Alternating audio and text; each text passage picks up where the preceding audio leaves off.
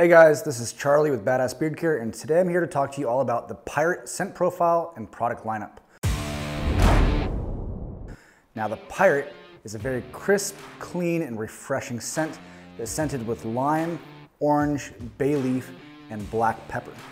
Now the Pirate has a medium scent strength profile, and it smells a little bit different inside the bottle than it does when you apply it. When you first smell the pirate in the bottle, it's gonna smell a little bit spicy like the bay leaf and the black pepper. But once you apply it, those clean, crisp, refreshing notes of citrus come out and it becomes a fan favorite.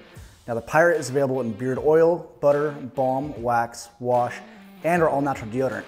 If you're afraid that you're not gonna like the pirate or any other scent that Badass Beard Care offers, don't worry because we offer a badass guarantee, which means that we know that you're gonna love this product or we'll find one that you do or your money back.